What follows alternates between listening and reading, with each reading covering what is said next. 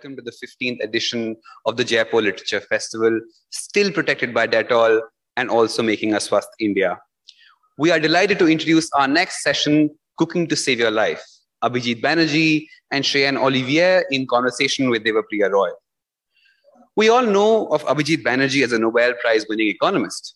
Now meet Abhijit Banerjee donning the cap of a gourmet chef in his playful, erudite, and sensationally delicious cookbook, Cooking to Save Your Life, Banerjee takes us through the recipes he has delighted his friends, colleagues, and students with, from charred avocados to Andhra pork ribs to deconstructed salad niçoise. In conversation with Shane Olivier, who illustrated the book, and best-selling author Devapriya Roy, Banerjee speaks movingly of the bonds of food and memory, friendship and community across cultures and continents. Abhijit Banerjee, as you all know, is the recipient of the 2019 Nobel Memorial Prize in Economics, and he also teaches economics at MIT. He co-founded the Abdul Latif Jameel Poverty Action Lab at MIT and has authored six books, including Poor Economics, Good Economics for Hard Times, and perhaps his most fruitful, literally fruitful endeavor, Cooking to Save Your Life. Cheyenne Olivier is an illustrator based in France. She builds her images from a visual vocabulary of elementary shapes like squares, circles, and triangles that form the basic blocks of a connected universe where humans, animals, plants, and minerals are all made of the same matter. Our moderator today, Devapriya Roy, is the author of three best-selling novels, The Vague Woman's Handbook, The Weight Loss Club, and Friends from College. Roy published Indira in 2018, a unique graphic biography of Prime Minister Indira Gandhi in collaboration with Priya Kuriyan. And she's currently translating Tagore's Gora into English. Ladies and gentlemen, cooking to save your life. Abhijit Banerjee, Cheyenne Olivier in conversation with Devapriya Roy. Over to you. Hello, welcome to this session where I must issue a warning. We are going to make you very, very hungry. We're going to talk a lot about food. And you know, I thought the timing was very apposite because between breakfast and lunch, Bengalis really like to talk about food. For example, you know, that's true, but I sort of, you know, to, to plan the rest of the day. Yeah, should we begin? Yeah. Okay. Before we talk about the book, this gorgeously illustrated, brilliant book, and I will tell you, I have tried out some of the recipes. So I'm going to have, you know, questions for the chef. But before that, I wanted to sort of start there that food that we eat is also a lot about food that we remember having eaten uh, from childhood, youth. So I'd like both of you to share memories of a very, very memorable, dramatic meal. It could have gone terribly wrong, but should we begin there? Why not? Um, so for me, I think uh, it, the memory is always uh, is a, always a bit mixed because I, I we never went to restaurants. So uh, once in about you know six months, my father would announce we're going to go to a restaurant, and at that point, you know, uh, and this was already two weeks ahead of time, and we started drooling from them. There was two weeks of, Of drooling, uh, and then uh, I, I remember there was a Chinese restaurant in Kolkata called Eros, um, long gone, um, near uh, Society Cinema, and it was. Uh, and I remember at the age of seven going there, and they had um, roast squab, and it was extra. I mean, I, I don't know whether it was extraordinary or not. You was, I was seven. I never had Chinese food in my life, but it was a revelation. I must say that it, it was there in that moment that I realized that one day I'm going to write a cookbook. Not really, but, But but right. almost. Right. Shane, what about you? Uh, my most recent memory of a terrible meal, one of the worst I've had, was um when I arrived in China.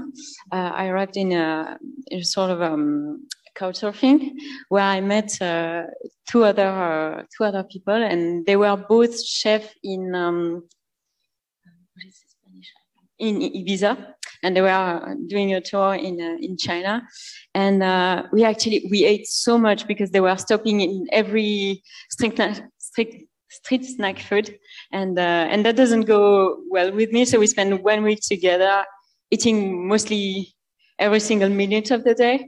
So when I left them, I felt so so sick that I just ate pomelos for one week, and then I, the only meal I had was uh, somehow put in a plastic bag, and it was very badly, mildly cooked broccoli in a brown sauce, and, and that was awful. so, do you want to tell us how, um, Abhijit? Do you want to tell us first how this book came to be? Oh, yeah, I mean, this book um, was sort of not meant to be a book. It was meant to be a, a present for my brother-in-law, Esther's brother. Why? He doesn't cook. He can't cook. He can cook. He likes to cook. He had been eating what I was cooking, and he liked it. And so his he's he was keen to get the recipes. And I thought, well, Christmas present. What do I do? I actually wrote a chapter, and I decided that was his Christmas present.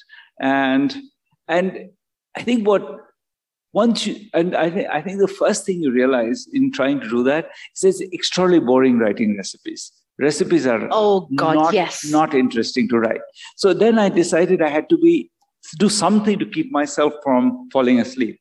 And then I started to write text around the recipes and just find ways to amuse myself. So the goal right. was not to amuse anybody else, but me. I was uh, if I were to con- had to continue, it had to be that there was some game that I was playing. Right. I decided that there was a I had to launch a game. And the, the book that and then eventually I wrote more chapters for more Christmas presents for him. And then that was sort of the nucleus of the book. So just to tell our uh, audience here, what he means is that every recipe is prefaced by a little situation. And it's it's funny, it's sassy, it's it's lovely and it sort of uh, occurred to me that there is a, a novelist lurking somewhere inside the economist and cookbook writer. I, I, think I think this is I think my best length is six lines. A novel won't work. I think I'm very good. I'm, I'm pretty a good novel at six, in six lines. Uh, yeah, I'm chapters. pretty good at six lines, but I don't think I will get very much further. I think th- that takes more imagination than I have. Six lines I do well. So this this is there's lots of introductions, as she says. Some of them are ten lines, some of six lines, but they, they're good at six lines. Right. So while Shane tells us about how she came to be associated with this project, do you want to find one of your favorite little six line, ten line things? You're going to read it. Okay, I'll read it.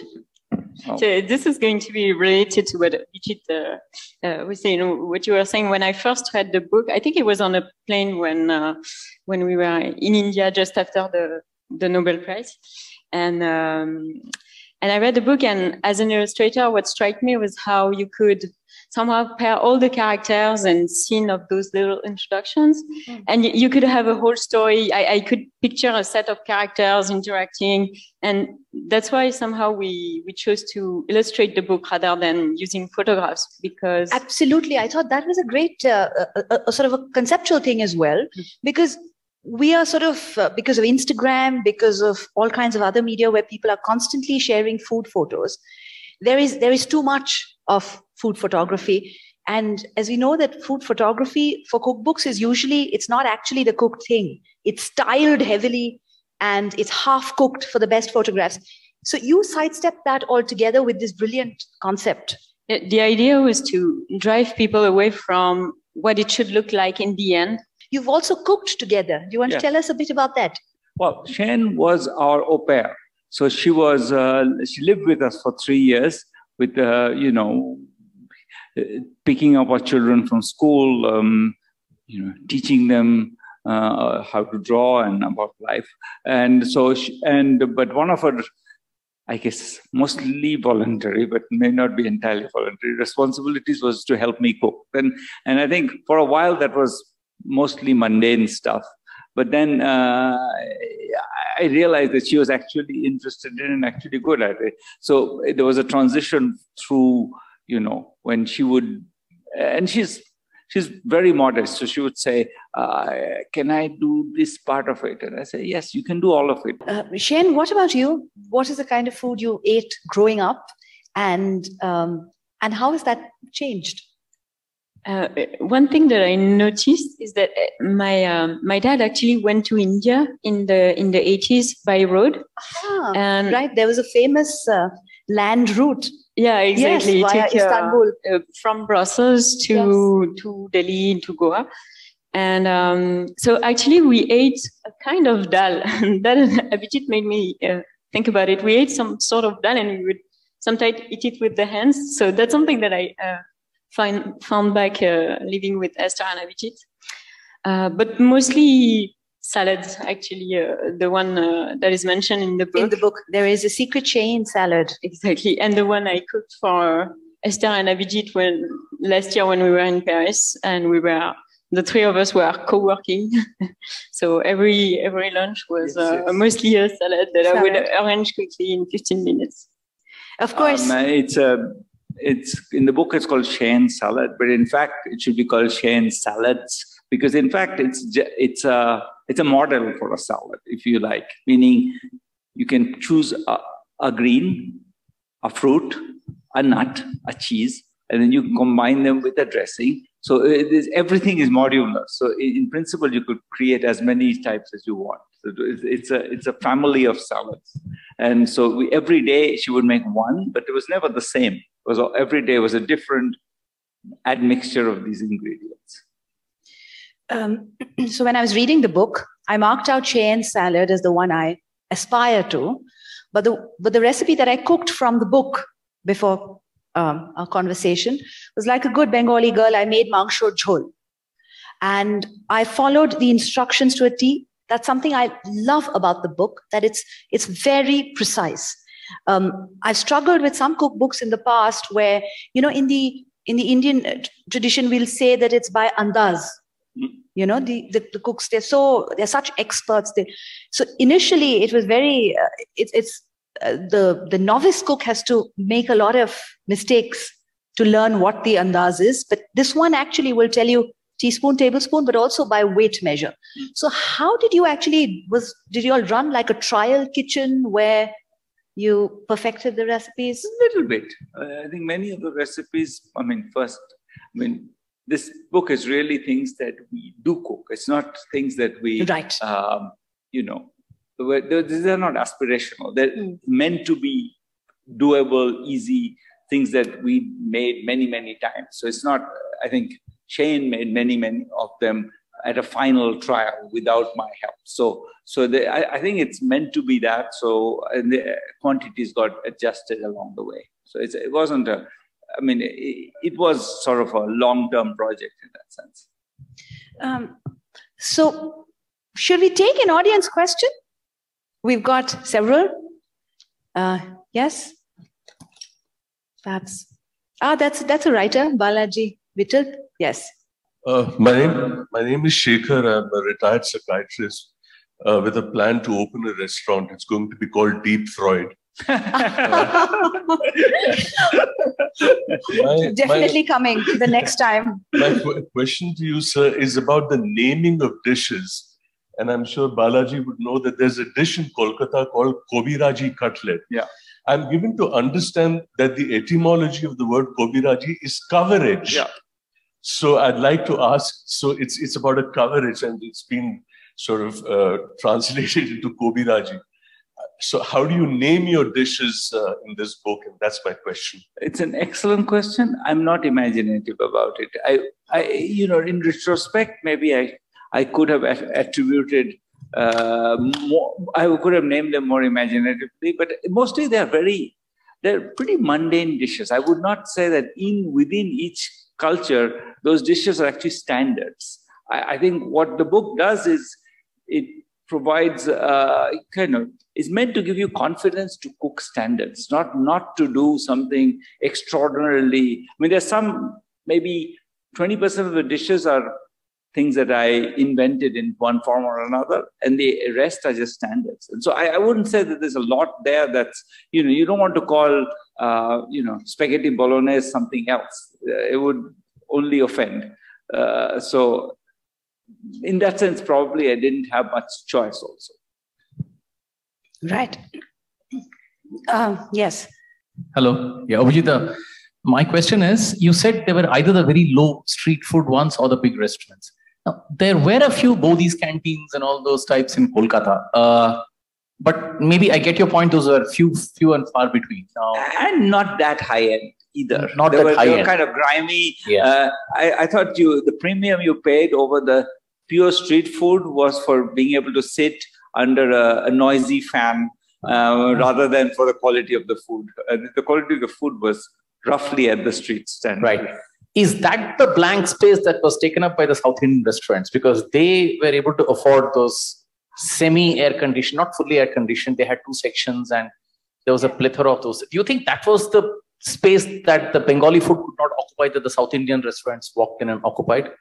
That's probably right. That they was, but they were still at they were better quality, I would say, than the uh, I don't know. I, I, this is my prejudice. I like South Indian food, so I. But I, I think the South, even the South Indian food, I wouldn't call that high end. It was it was very basic, and you you, you know they were not encouraging you to spend time there. They would come and after about two minutes, come and say that um, basically take your plate away before almost before you finish, so that you have a to so you can move on. High Uh, throughput model, as they say. Yeah, higher exactly. thank Uh, we'll take one more question and then we'll, of course, come back to the audience again. Hello, sir. So, uh, as the discussion was uh, going on, uh, uh, ma'am, you noticed you said that you know because of uh, people frequently eating out now, and because of the easiness uh, of home deliveries and takeaways. So, sir, do you think that is leading to you know a lack or at least a lessening of creativity for people to cook themselves? So, personally, I'll be honest, I, I hardly I can hardly cook. I learned like four or five basic dishes during the pandemic, but even then, I felt that you know when I'm like at patience, like there's really a lot of potential and variety that you can have, especially in India where you have a host of flavors and uh, you know uh, other things to choose from. So, what do you think? This is a good, No, I good think- question. It's a nice question. I, I, I think it's, I, I- I think the, my, m- personally, I would say that uh, that should, would have, should enhance your ambition. In the sense, it's, it's precisely the fact that you don't have to do it every day that makes it even easier to, to say that, look, you know, today I'm going to do it. I, in many ways, I think, at least for me, it's an extremely uh, wonderful way to transition out of my work day. So I, I literally come home, I never sit down. I start cooking the moment I come home, and I cook for an hour and a half without uh, right after that. And the reason I do it is because I do it every day. Essentially, we almost we keeping my parental tradition. We never go out. So um, and the but I think it's great way to get you know I know whatever you do for a living, uh, you, this is a way to get your brain out of that and Right. into something else. I, I really love the fact that it's, you're doing something, but it's using a very different part of the brain, a very different part of your hands. Your hands are working in a way that, you know, as a professor, my hands work, but they work in a very specific and staccato way. Uh, and, uh, and this gives you just a different way of using your hands. It, it, it's very, very pleasant for me. So I would say it's, think of it as another way to unbend, another way to use your leisure. But it's also that then that's somehow what differentiates uh, just a, a- mere assembly, like a, a mechanical assembly of uh, raw ingredients into a, a meal. I, I feel that uh, the way you cook, at, at least, is uh, you pay a lot of attention to the heat, to how it looks. So you you really have to focus on it, and somehow that's what makes it good in the end. And that's that's what changes. It's not a uh, putting much more effort. It's, it's mostly paying attention.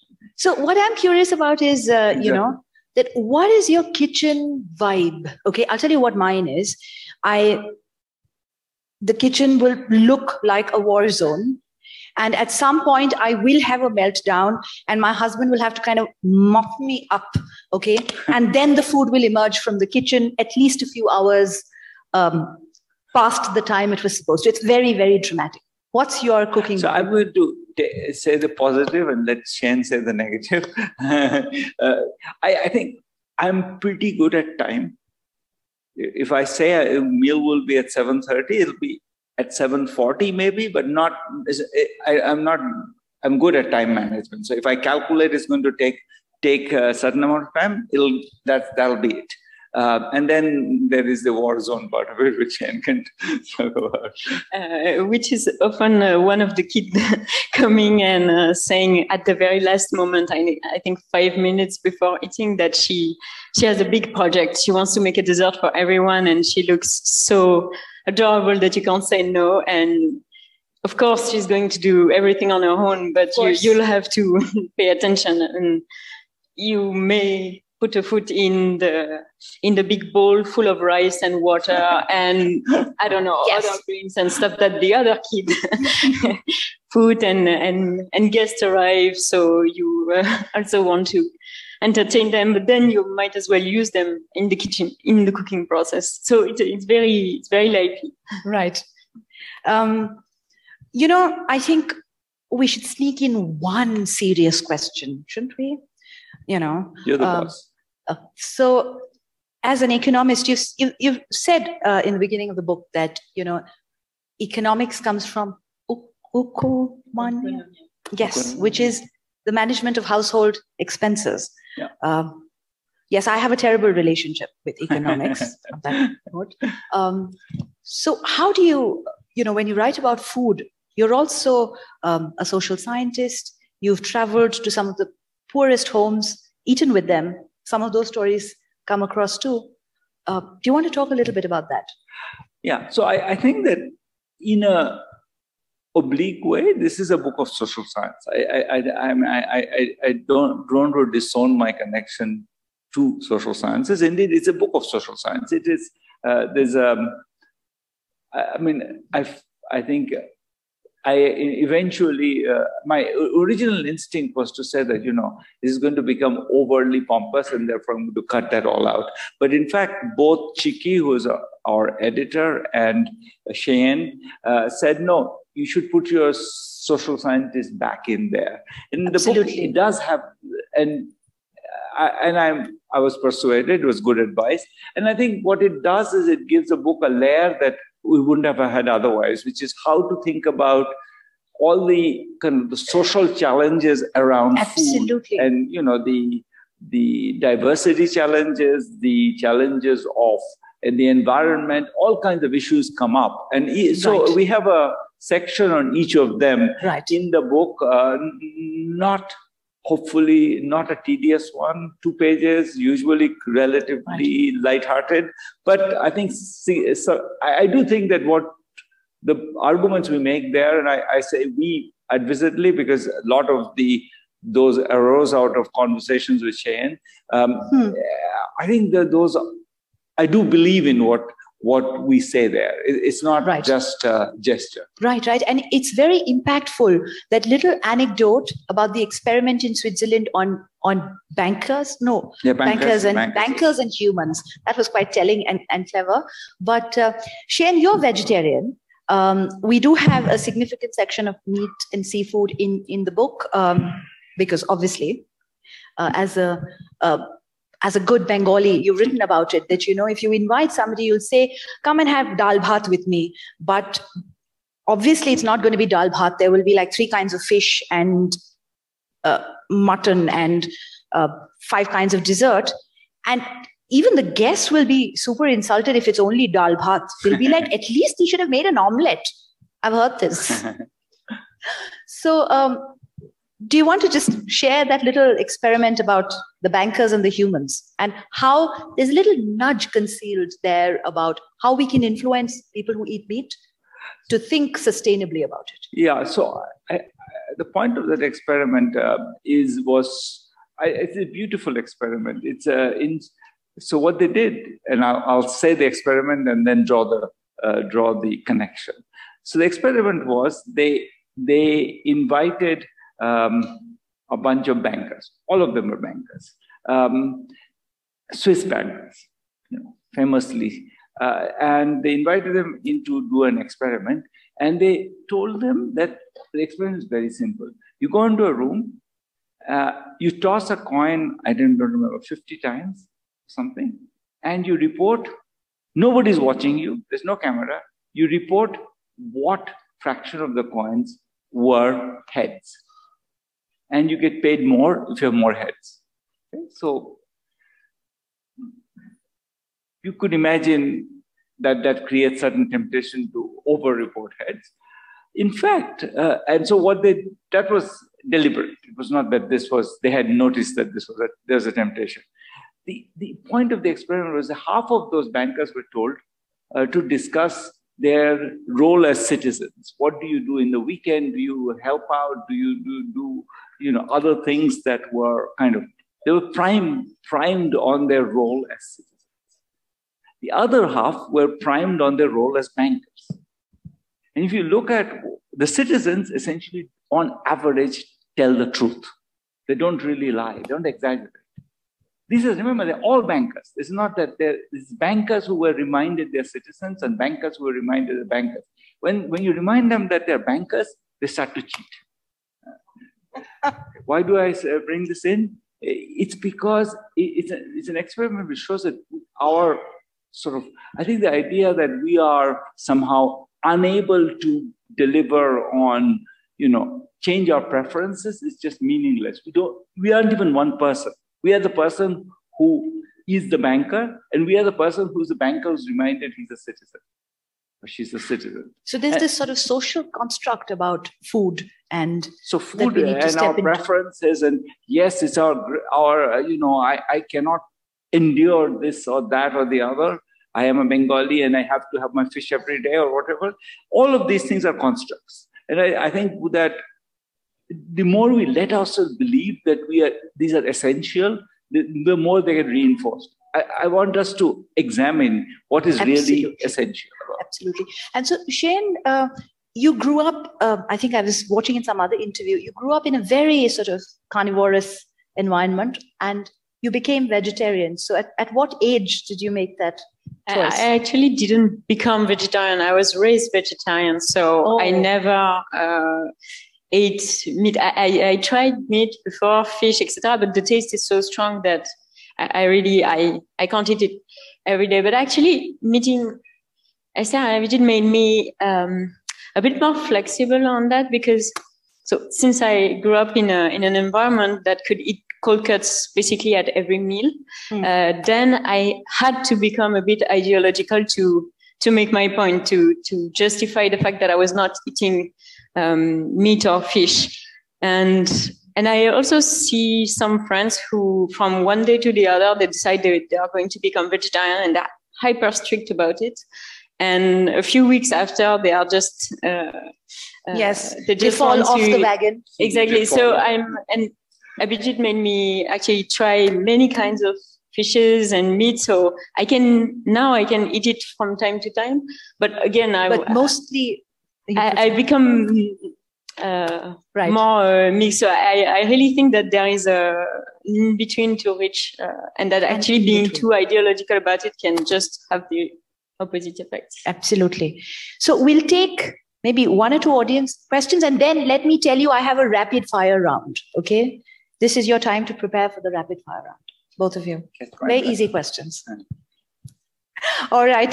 Shall we take some one question from the back, please? I feel like we've maybe from a woman. I think so far. Yes, please. Only men. So, uh, hi, Abhijit.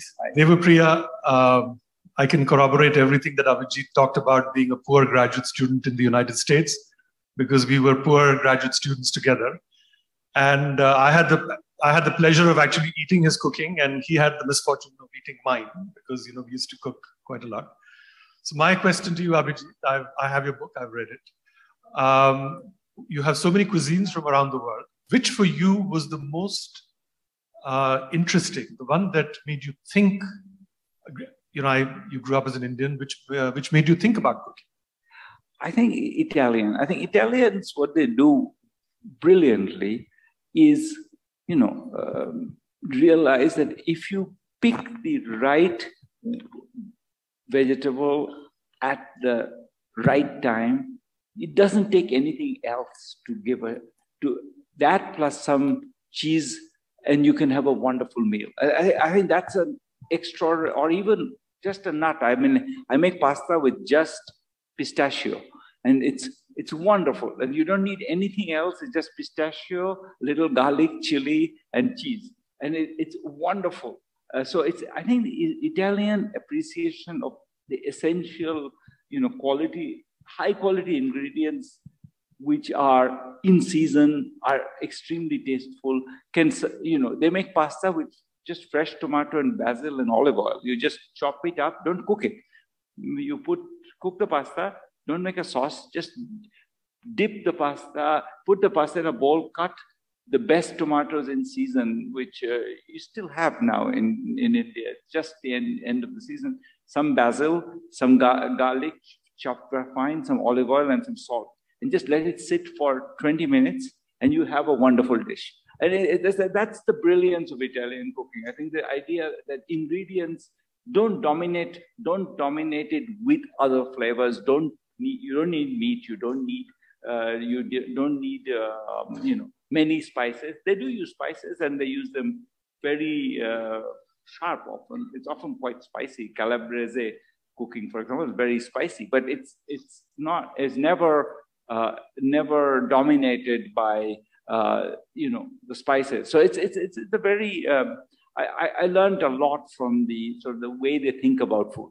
Right. But somehow, somehow it connects to another uh, idea that runs through the book, which is the idea of pleasure that is uh, going to actually make us uh, eat in a more environmentally friendly uh, way. Because if you eat the right vegetable at the right time, then not only it's going to be uh, environmentally compatible, but it's also going to be extremely good. And this is not by by setting some very strict rule to yourself and to others that uh, you're going to bring more people uh, into changing their preferences. Exactly. So I, I think it's it's exactly right that I think the I think seasonality is such a I mean, it's something that the in the US they basically try to make you forget by getting food from everywhere. But of course, you don't forget it because when something's in season, right. it tastes better. Right, right. Uh, yes, this uh, the lady here. Okay. Thank you. Thank you very much. You're welcome. Thank you. Now, food and economics is related, connected. It's always there. It's so many layers. We don't even have to go abroad like we do, even in India from its borders across. Could you give us, as an economist, as a Nobel Prize economist, a cutting insight into the relationship of today's landscape of the availability of food, availability, and it's, in fact, it's too much of it sometimes, and to the economics. I mean, we all know traditionally, as you said, seasonal food was the thing. This is what our grandparents did. This is how we all grew up. And this is what we know about it. That's why I said there's so many layers. I think, uh, Devapriya, we could have a half a day of session on just uh, food, food, and economics. It's not about cooking and recipes. It's much more than that. And I think there is a session on food. Yes. so could you please? So uh, I think this the book has a fair amount of this discussion, and I'm not going to be. Uh, it's it's too big a topic, as you say. I'll I'll give you one example that's uh, in the book, but I think is actually interesting. So if you, the U.S. has a a tradition of uh, eating. I would say this is slightly unfair, but not very unfair. Of eating large, very large quantities of very bad quality meat. That's your your median meal comes with a lot of meat and of no great quality. Both, I think, uh, slightly depressing. Especially, you know, you get a lot, you throw it away, and it doesn't taste good while you eat it. And I think it's a result of a particular sociological phenomenon, which is that the US was repopulated by immigrants, poor immigrants from Europe. Poor immigrants in Europe lived on, didn't get meat. This was a culture where meat was too expensive. Uh, meat prices fall by 60% between uh, when the steamship is uh, this the air condition air the, the refrigerated steamship is introduced uh, so mm, before that meat prices are very expensive europe poor people eat gristle parts of bone and, right. and tendon right. and so when they found the meat it was just so much celebration that the us culture became centered around meat and in particular for example parts of the us like texas don't actually grow very much. It's a place where you know you the only form of farming that was possible, and you see that a lot in the westerns, is uh, is the Texas Longhorn, which is a cow that can live on basically cactuses. And, but the meat is not tender as a result. So you end you end up getting this very low quality meat, but then plenty of it. And in fact, nothing else grows, so you eat a lot of meat. So I, I think the connection between the history and the geography, history of immigrants coming from Europe with a history of not being able to eat meat, suddenly saying meat is very cheap. They're writing home uh, to their uh, to their family saying, "Look, I ate meat every day last week." Uh, and right. so this celebration and the geography, the fact that Texas really didn't go, that frames the what we can eat. And I think that's one of the one of the points that sort of we make in some detail. Right. Right. Okay. We we don't have much time, so we have to do our rapid fire round very rapidly. okay. So the same question for both of you, and you have to answer very quickly. You start with Cheyenne, so I get a chance to No, I'm going to start with you so that Cheyenne gets a little bit of time to prepare. Yes. Worst cooking disaster. I made a, a, a jhol once. The first time I made it, I made it with cod. And cod is, unlike, let's say, rui, is, is a very watery fish. So if you do what you do, do with rui, which is pre-fry it and then put it in a sauce, it kind of crumbles into uh, uh, like breadcrumbs. It becomes like breadcrumbs, and it it, it, has, it was the most awful thing I've ever eaten. I think in my life. Very good rule: never make macher jhol with cod. Cheyenne? Uh, me and my sister we were trying to uh, do muffins for friends, and eventually became into a sort of uh, lava that we gave to the to the dog. But my sister eventually became a, a pastry chef at the Ritz in Paris, so that's not. Uh-huh. She leveled up from that. Yes, she really picked so herself up from that early. you can crisis. recover from disaster. Yes. Okay. Next question. A meal that you cooked that got you a date. Ah. Uh, yeah, you can. Int- I mean, you can. I, I think. Uh, I think you got the order backwards. I think you invite someone to a, a, meal and you cook for them. Then hmm. whether that gets you another date, I don't know. That's... You already managed to uh, get them come once. So I think you're getting the causality mixed up. Uh, I actually made the um, the recipe from the book. The fennel pasta works very well. Uh-huh. and, and the egg in a cream sauce. Right. So I tried them all. Uh-huh. Okay. Um, favorite novel about food or favorite novel that talks about i love novels that go on and on about food uh, hmm, hmm. or a favorite book about food we can extend uh, it a bit it's a, it's a uh, yes yes yeah, then i go uh, and that actually uh, inspired the, this book it's the the grammar of spices by the designer Caz Hildebrand um, in uh, published in Thames and Hudson. That was very mm-hmm. much a, an inspiration. She paired uh, uh, information about spices with the work of Owen Jones, uh, an architect from the 19th century. Mm. it's oh, a beautiful book. Padma Majhi. Uh, this is a Bangla novel by Manik Bandyopadhyay. Um, there's a scene where the, the fishermen are cooking, they're fish, they caught fish, and they're cooking it in in the boat, boat. Uh, and she, he gives the entire recipe in there. It's simple it has i love novels which do that which also you know yeah yeah it, he yes. provides a recipe in it. It's it's even if you're not interested in the food part of it it's a novel worth reading. It's extraordinarily good novel it's translated now in, in english as well it's really extraordinarily good novel um, okay I'm letting you off really easy. Okay, there's only one last question now for both of you. Thank God. Uh, three economists you would invite for dinner. They could be from any time, you know. Uh, and what would you cook for them? And artists in your case, Cheyenne. Um, who would I invite? Uh, I think Adam Smith. I think Adam mm-hmm. Smith had a really good sense of life. John, John Maynard Keynes. Uh, so those are easy. The third one, uh, hard, uh, because economists are not famous for their, uh, you know, sense of life, I would say. Is, alas. so,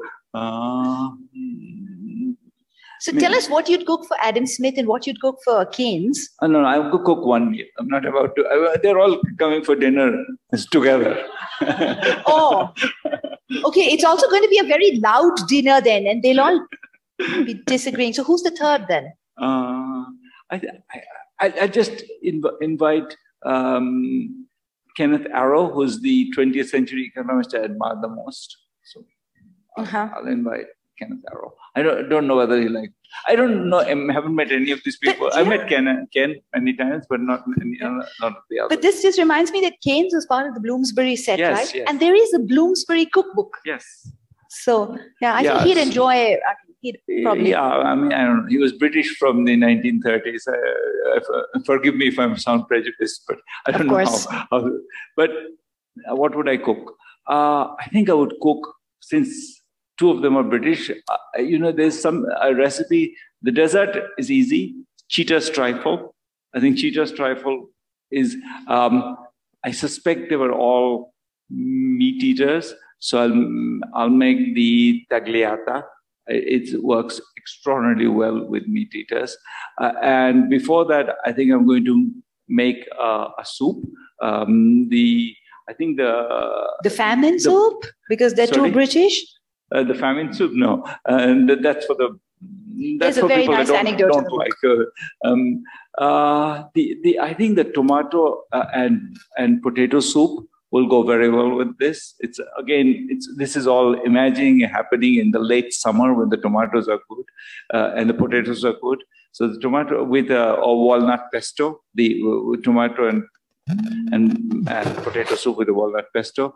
And uh, finally, the uh, so I have to finish quickly. And finally, a pasta uh, to, to lead into it, a pasta with um, a, a simple pasta with cauliflower and and uh, nuts and raisins, and a sort of Arabic-inspired pasta from Sicily. Uh huh. That's a very fancy meal. Okay. I wish I were. You're invited. Okay. Thank you. Cheyenne, what about you? Um, I think I would invite um, female artists who do geometric abstraction, like um, Hilma af Klint, Sophie or Varja Ratter. And I, I think I would pre-cut everything into geometrical shapes, and then we would assemble it together. Oh, that would be a, a creative dinner. participative. right. Uh, unfortunately, I know we could have gone on for a long time. We're out of time. So um, I'm going to thank Abhijit and Cheyenne for this absolutely wonderful session. Thank you. Thank you very much. Thank you, Devapriya. You were wonderful. And if you're Thank all you. very hungry, there are stalls that you can go straight to. Thank you. Thank you. in a way, if you do think about it, cooking is also a randomized controlled trial. We thank Abhijit Banerjee, Cheyenne Olivier, and Devapriya Roy for that ex- exceedingly a discussion which made us hungry. And we thank Oneindia for their support. There is no book signing by Abhijit, but Cheyenne will be outside to answer any of your questions about the book, about illustration in general. So if you'd like to have a word with her, she's outside. Uh, Abhijit and Devapriya do. Uh, Abhijit has a session right in Mughal 10, so if you want to catch him, please follow him there. And thank you for being with us, and we hope to see you at the next session.